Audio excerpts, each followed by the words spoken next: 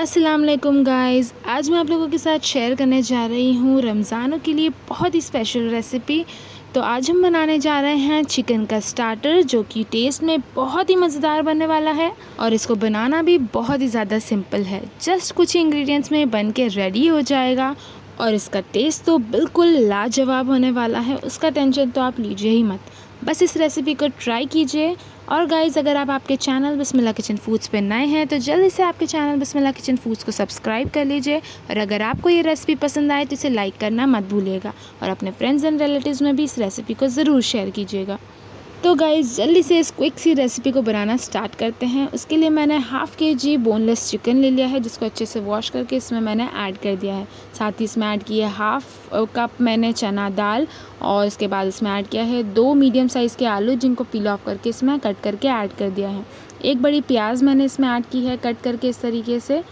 तेरह से चौदह मैंने काली मिर्चें ली हैं और तीन पिपली इसमें ऐड की है। साथ ही वन टेबलस्पून मैंने धनिया लिया है और तीन से चार मैंने लाल मिर्ची ली है खड़ी। हाफ़ टी स्पून मैंने इसमें गरम मसाला पाउडर ऐड किया है और हाफ़ ही टी स्पून मैंने इसमें अदरक लहसुन का पेस्ट ऐड जिससे बढ़िया सा टेस्ट आएगा। साथ ही इसमें ऐड कर दूँगी वन टीस्पून नमक। नमक आप अपने टेस्ट के अकॉर्डिंग भी ले सकते हैं बट इतना न्यूट्रल है आप इतना लेंगे बहुत ही बढ़िया बनेगा। साथ ही इसमें मैंने ऐड किया है वन टी देसी घी इसमें हम दो कप पानी ऐड कर देंगे और इसे अच्छी तरीके से मिक्स करने के बाद हम कुकर में सीटी आने देंगे। मैंने तीन से चार सीटियाँ आने दी थी और आप देख सकते हैं इस तरीके से हमारा जो चिकन है और बाकी इंग्रेडिएंट्स है वो गल चुके हैं। अब इन सभी इंग्रेडिएंट्स को हम हमारे ग्राइंडर के अंदर ग्राइंड कर लेंगे और इस तरीके का फ़ाइन पेस्ट रेडी कर लेंगे। आप देख सकते हैं हमारे पेस्ट की कंसिस्टेंसी किस तरीके की है।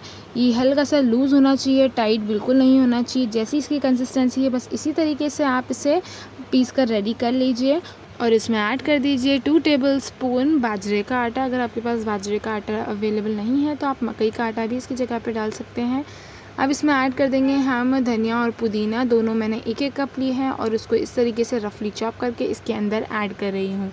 साथ ही इसमें डालेंगे सात से आठ हरी मिर्चियाँ, जिनको इस तरीके से मैंने रफली चॉप करके इसमें ऐड की है, और एक मीडियम साइज़ प्याज, जिसको इस तरीके से मैं फाइनली चॉप करके इसमें ऐड कर दूँगी। इससे बहुत ही बढ़िया हमारे कटलेट्स बन के रेडी होंगे। ये बात को आप नोट कीजिएगा, जो हमने बॉईल किए थे उस वक्त, मैंने सारे जो चिकन के पीसेस थे, वो सभी मैंने निकाल लिए थे और इस तरीके से रेशा रेशा कर लिए हैं। और जो बाकी की जो भी चीज़ें बची थी, चना दाल, आलू वगैरह, उन सब का मैंने जो पेस्ट बनाया था, वो उसका पेस्ट था। और जो चिकन के पीसेस थे, वो मैंने अलग निकाल लिए थे और उनको इस तरीके से रेशा रेशा करके इसके अंदर ऐड करूँगी। आपको ज़्यादा पतला रेशा नहीं करना है, इसी तरीके से आप हल्का सा रेशा रेशा करके इसमें ऐड कर दीजिए और इसे अच्छी तरीके से मिक्स कर दीजिए, इससे बहुत ही बढ़िया टेक्स्चर आएगा और हमारे रेशा कबाब बन के रेडी हो जाएँगे।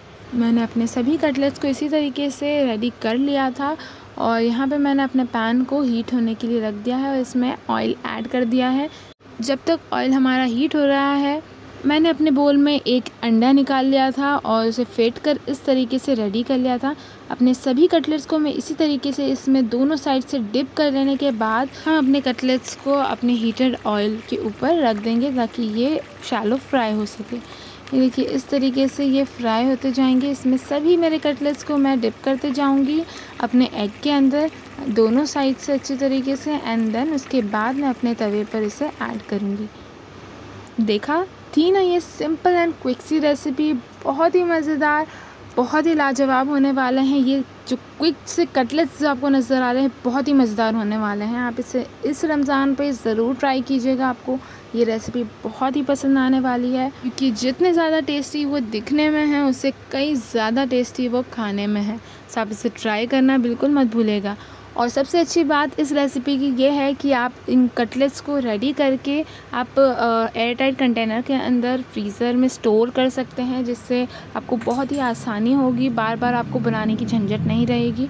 जैसे से आप कटलेट्स को रेडी करके स्टोर कर दीजिए अपने मतलब फ्रीज़र के अंदर। और जब आपको इसको बनाना हो, आप अंडा बस निकाल लीजिए, एक अंडा निकाल लीजिए, उसे फेंट कर इस तरीके से उस अंडे के अंदर डिप करके अपने कटलेट्स को आप इस तरीके से शैलो फ्राई कर सकते हैं। गैस की फ्लेम आप स्लो टू मीडियम फ्लेम पे रखिए और उस पर इसे फ्राई कीजिए। हाई फ्लेम मत रखिएगा। हाई फ्लेम पे ये जल सकते हैं नीचे से और इनका कलर चेंज हो जाएगा, बट ये अच्छे से फ्राई नहीं होंगे। इसलिए स्लो टू मीडियम फ्लेम पर इन्हें अच्छे से फ्राई कीजिए।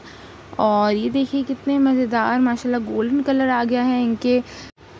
जस्ट इनको दो से तीन मिनट तक एक साइड पर फ्राई होने दीजिए और आप देखेंगे जब कि गोल्डन कलर में टर्न हो गए हैं, उसके बाद इसे आप टर्न कर दीजिए।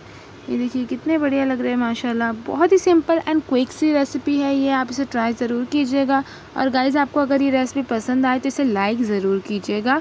और आपके चैनल बिस्मिल्लाह किचन फ़ूड को सब्सक्राइब करना बिल्कुल मत भूलिएगा। मैं ऐसी ही बहुत सारी सिंपल एंड क्विक सी रेसिपीज़ लेकर आती हूँ, जो कि बिल्कुल ऑथेंटिक होती है टेस्ट में। कोई भी इतना सीक्रेट नहीं बताता है अपनी रेसिपीज़ का, बट मैं उन्हें रिवील करती हूँ just for you so that you can make perfect recipes at your home so आप मेरी रेसिपीज़ को ट्राई ज़रूर कीजिए और उनका मज़ा ज़रूर लीजिए। आई एम श्योर इनशाला आपको मेरी सभी रेसिपीज़ बहुत ही पसंद आएँगी। कि ये रेसिपीज़ दिखने के साथ साथ टेस्ट में भी बहुत ही ज़्यादा मज़ेदार होती हैं और ऑथेंटिक होती हैं अपने टेस्ट में। तो ये देखिए हमारे बढ़िया से चिकन रेशा कबाब वाले कटलेट्स रेडी हो चुके हैं। आप देख सकते हैं कितना प्यारा गोल्डन ब्राउन सा कलर आया है इनके ऊपर। बहुत ही मज़ेदार होंगी ये रेसिपीज़ आप इसे इस तरीके से ट्राई कीजिए। मैं इन्हें अपनी सर्विंग प्लेट में सर्व करने जा रही हूँ। चलिए आ जाइए इसे ट्राई करने के लिए। सो गाइस अगर आपको ये रेसिपी पसंद आए तो इसे लाइक ज़रूर कीजिएगा। और अपना बहुत सारा ख्याल रखिएगा और मुझे और मेरी फैमिली को अपनी कीमती दुआओं में ज़रूर याद रखिएगा।